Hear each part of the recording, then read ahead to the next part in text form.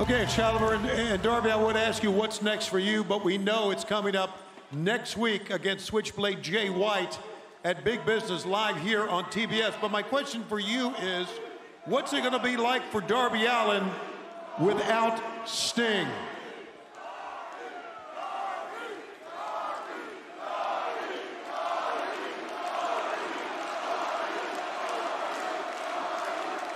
This isn't gonna be easy, Tony.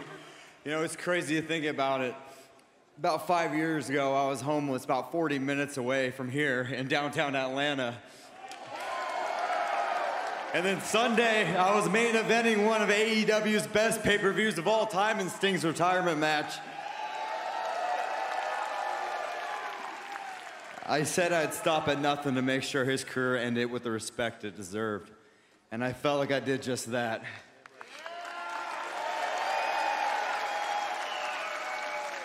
I'm lacerated. I'm beat up. I'm tired. But what's next for Darby Allin? Well, next week at Big Business, I got a match against Jay White. And then on, then on March 27th, I'm flying to go climb Mount Everest. Darby's been training for that for months. And this is me just talking from the heart here. This, this, this is me talking from the heart. There's no guarantee that I'm gonna come back alive from Mount Everest.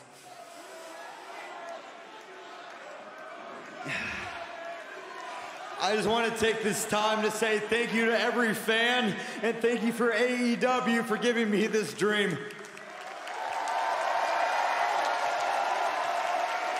And if next week is my last ever match, I'm gonna do what I always do.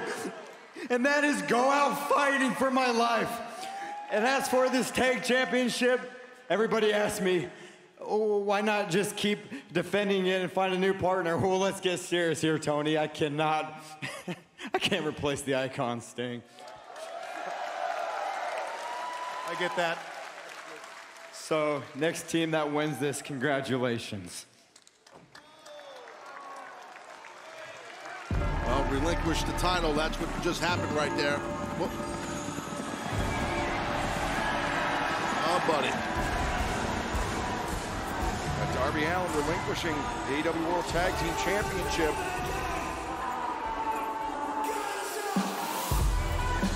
But Bullet Club Gold, Bang Bang Scissor Gang music.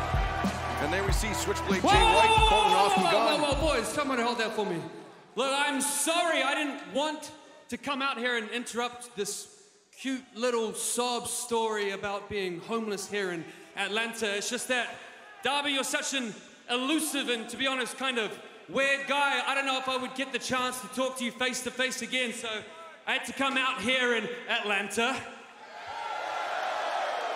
Darby, I just wanted to say to you face to face, congratulations on an amazing night at Revolution.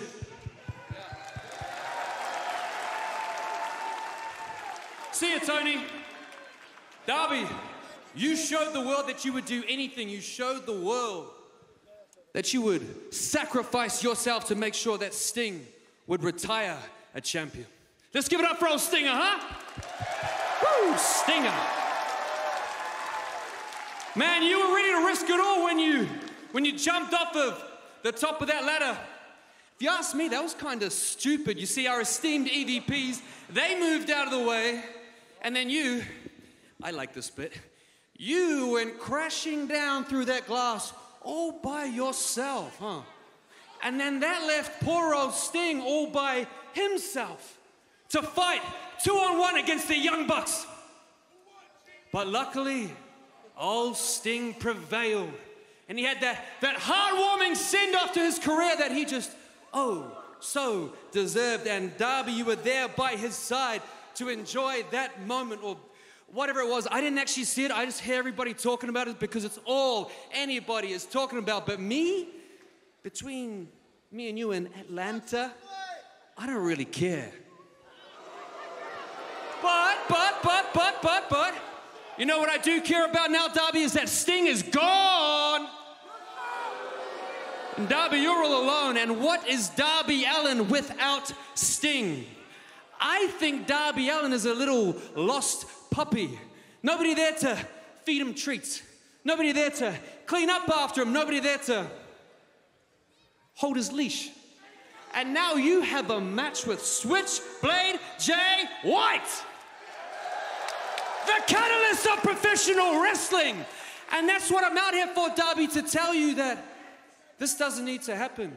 We don't need to have this match. Just like you didn't have to jump from the top of that ladder, you don't have to get in the ring with me. And trust me, nobody, nobody out the back, nobody here in Atlanta, nobody watching at home, nobody would think any less of you after what you've been through physically, mentally, and emotionally.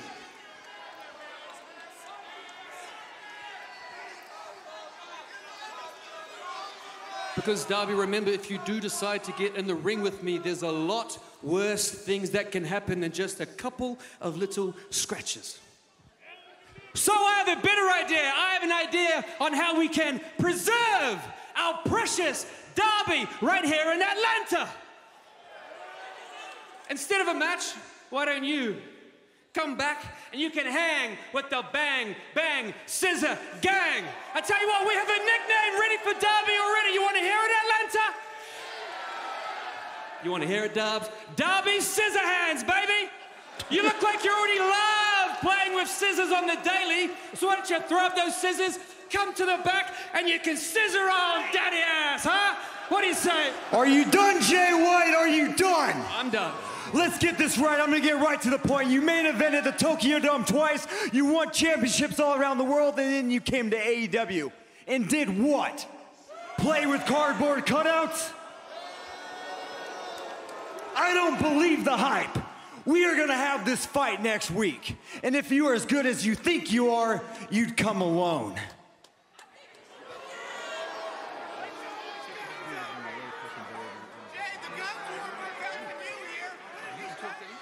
Oh,